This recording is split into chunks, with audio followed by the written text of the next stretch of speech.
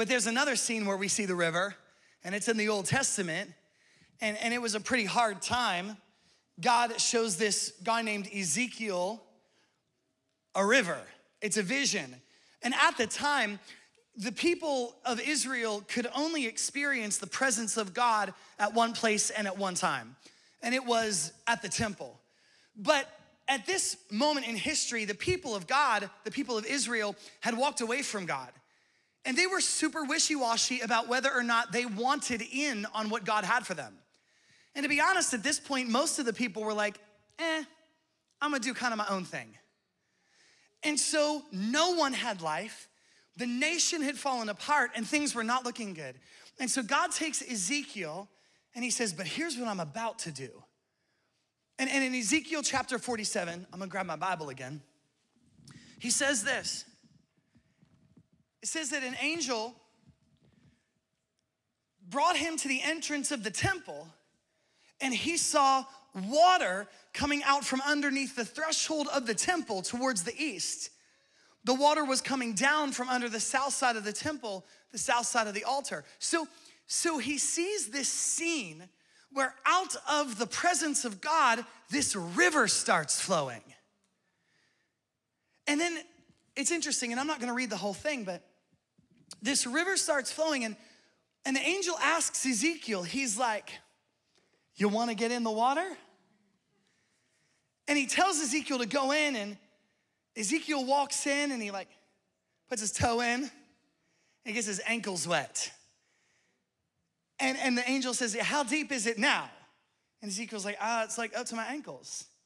And the angel says, Go a little deeper. And he goes up to his knees.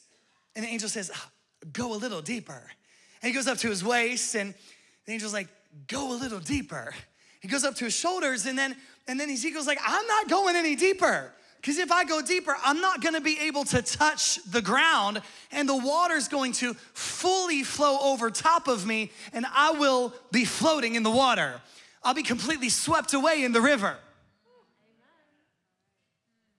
And so God has a river of living water that is flowing out of his presence today. It, ha- it will exist in paradise, but David said it exists already. Jesus says it exists already. Ezekiel saw that it exists already. And the question is do you want to get in the water? And here's what a lot of us do we're like really cool with our ankles in the water, right? Because this, this river is joy and delight, David says. It's awesome. I love when my ankles get wet. I feel like these goosebumps. I feel great.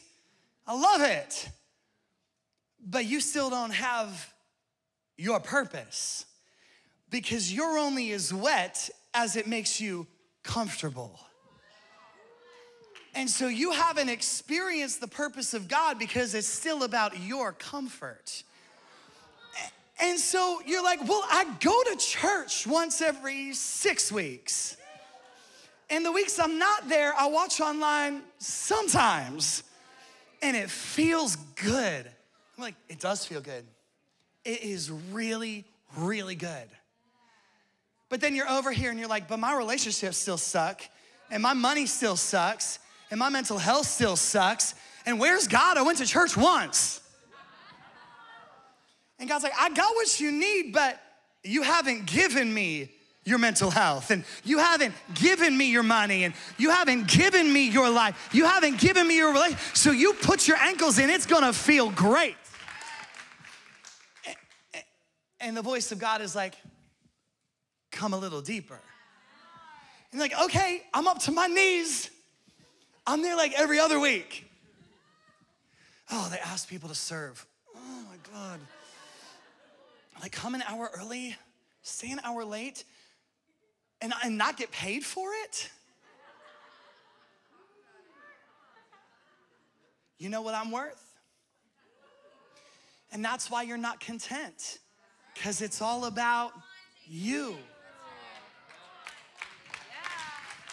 And you're like, well, I'm in my, I'm in up to my knees.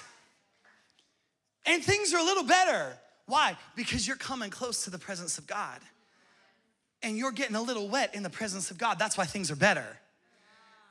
But God's saying, if you really want what I have for you, you need to come a little deeper.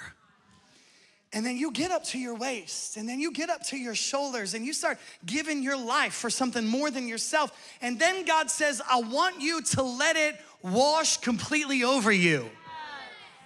But the problem with that is that we don't want to go that far. Even Ezekiel was nervous about going that far. Do you know why? Because when we let the river wash over us, you know what we lose? Control. We lose control. Because when the river washes over me, my feet ain't on the ground anymore. And now I have to trust that God's gonna give me what I need. And I have to trust that God's gonna take care of my desires. And I have to trust that God's gonna give me the relationship I've been trying to manhandle and control. And I have to trust that God can give me the freedom that I can't earn through my own efforts. But in order to get there, I have to give up control.